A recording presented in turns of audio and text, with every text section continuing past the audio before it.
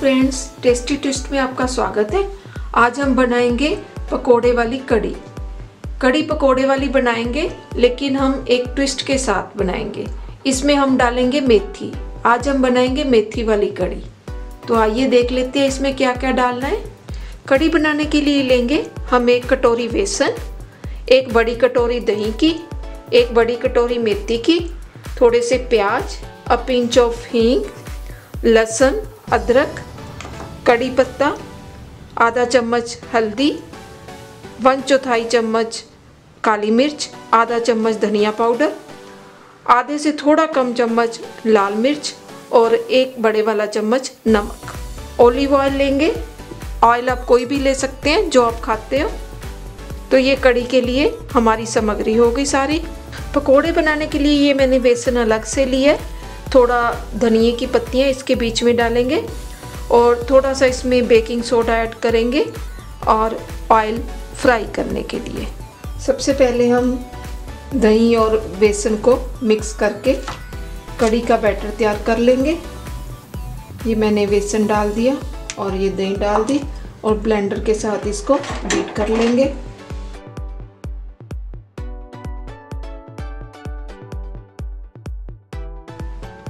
अगर दही थोड़ी आपकी ज़्यादा खट्टी हो तो दही थोड़ी कम भी ले सकते हैं।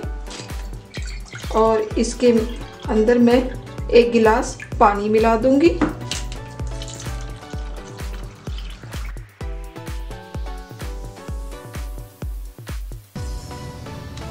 अब इसमें थोड़ी हल्दी मिक्स कर देंगे।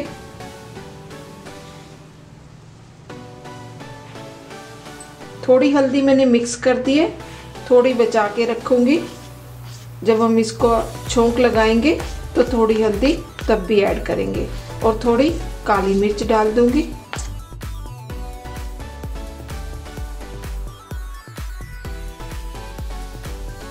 ये हमारा बैटर तैयार हो चुका है। कड़ी बनाने के लिए हमने कढ़ाई में घी ले लिया है। इसके अंदर हम डालेंगे हींग। आधा चम्मच राई मस्टर्ड सीड्स इनको भून देंगे अच्छी तरह से। बीच में ये डालेंगे कड़ी पत्ता। अदरक, लहसुन।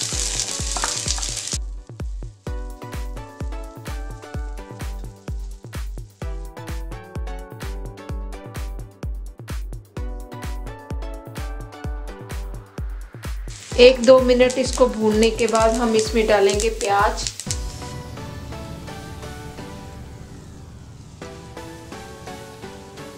प्याज को एक से दो मिनट तक भूनेंगे। फ्लेम मैंने मीडियम ही रखी हुई है। अब मैं इसमें डाल दूँगी मेथी।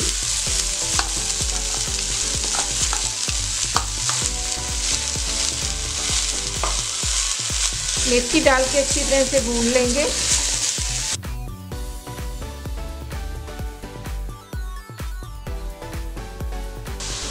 अब इसमें जो हमारी हल्दी हमने बचा के रखी थी, वो डाल देंगे और लाल मिर्च डाल देंगे, धनिया पाउडर डाल देंगे, नमक हम बाद में डालेंगे और ये काली मिर्च जो हमारी बची हुई है, ये हम पकोड़े में डालेंगे।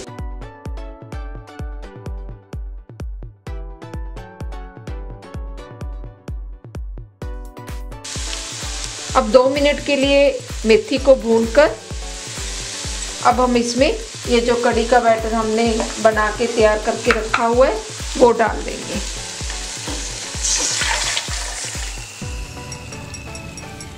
एक गिलास पानी मैंने पहले डाल दिया था, अब एक गिलास पानी और डाल दूँगी।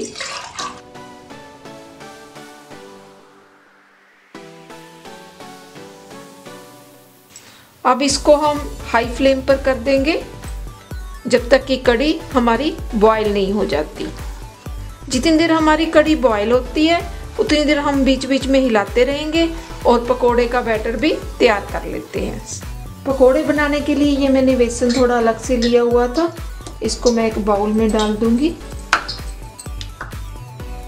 और थोड़ा सा धनिया थोड़ा इसमें जो मैंने काली मिर्च बचा के रखी हुई है, वो डाल दूँगी। थोड़ी लाल मिर्च और थोड़ा सा नमक। साथ ही मैं इसमें डालूँगी थोड़ा बेकिंग पाउडर।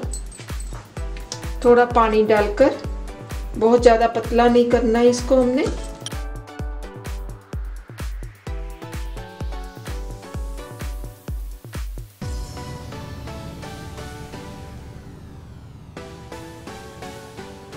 इसकी एक थिक पेस्ट बना लेंगे।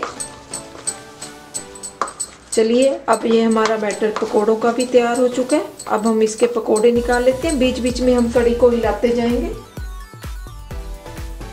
जब तक कि ये बॉयल नहीं हो जाता और इधर हम पकोड़े निकाल लेते हैं। अब ये हम हाथ से ही पकोड़े ऐसे बीच में डालकर निकाल लेंगे। आप चाहे तो चम्मच का प्रयोग भी कर सकते हैं। लेकिन हाथ से ये ज़्यादा अच्छे बनते हैं। जैसे ही मैं बीच में डालती हूँ, साथ के साथ ये ऊपर आ जाते हैं।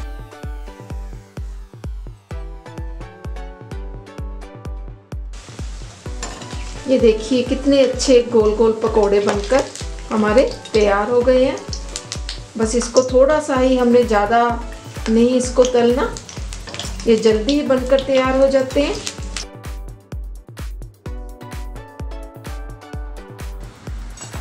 देखिए, इतनी देर में हमारी कड़ी भी बॉईल होने लगी है।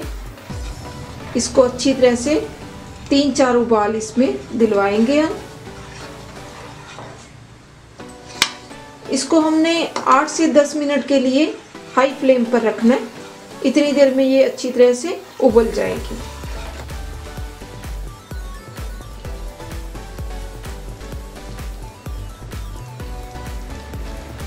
अब इसमें हम पकोड़े भी डाल देंगे।